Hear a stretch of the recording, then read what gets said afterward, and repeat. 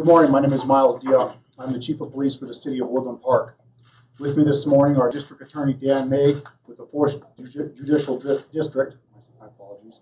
I have Teller County Sheriff Jason Mikesell with me, Colorado Bureau of Investigations Director John Camper, and FBI Assistant Special Agent in Charge Mike Nordwell. We're holding this morning's news conference to update you on recent developments in this case. Today, we arrested Patrick Frazee on charges of first-degree murder of Kelsey Berreth, and he is currently being held in the Teller County Jail. As a reminder, Patrick Frazee is presumed innocent until proven guilty. Patrick Frazee was taken into custody this morning in Florissant, Colorado, just after 7 o'clock this morning, Mountain Standard Time, by members of the Multi-Jurisdictional Task Force, including the Teller County Sheriff's Office and the FBI. Patrick was taken to the Teller County Jail where he'll be held. His mugshot will be sent to the media following the news conference through the media distribution list. Kelsey's daughter Kaylee is in protective custody and will be reuni- reunited with Kelsey's family. I cannot stress enough that this is a difficult time for Kelsey's family. They are not providing interviews, period. Please respect the family's request. This has been a methodical and time-consuming multi-state operation with investigators working nearly around the clock to find Kelsey. While we have not found Kelsey at this time, information has been developed that is helping to narrow down our search.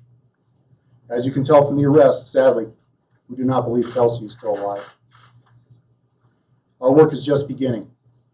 You will be seeing a great deal of law enforcement activity in our community in the coming days and even weeks as we continue our relentless pursuit of justice for Kelsey and her family.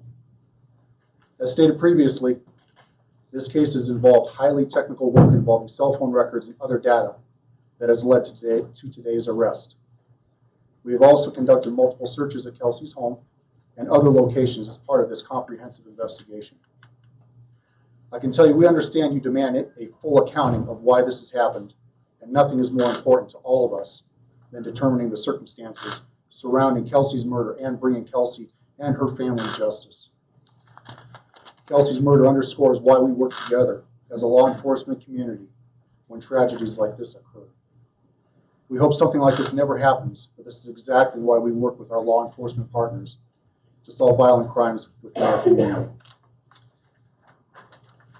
The safety of our community and our citizens is the top priority for all of us standing up here. And nothing is more important than our community's well-being. I'd like to take a moment to extend my, my thanks to our community for your unwavering support in this difficult time. On behalf of the Woodland Park Police Department and all the investigators and staff involved in this investigation, we would like to express our deepest sympathies to the family and to the friends of Kelsey Berreth. We will continue to work closely with the Fourth Judicial District, the Colorado Bureau of Investigation, the Federal Bureau of Investigation, as we continue to work to the conclusion of this investigation.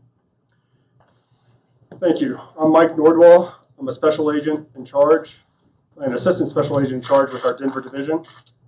Uh, Woodland Park Police Department initially contacted our Colorado Springs office shortly after Kelsey disappeared.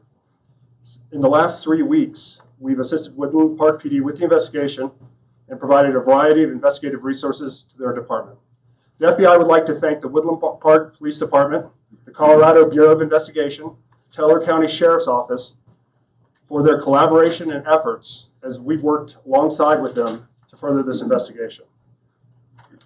Over the past three weeks, the FBI has provided our evidence response team, expertise from our behavioral analysis unit, technical analysis, and investigative resources from multiple field divisions across several states.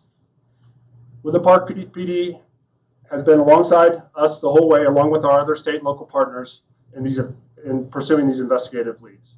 We've devo- devoted agents solely to assist in this investigation, and we will continue to do so until the conclusion and those that are responsible for this horrific act are brought to justice.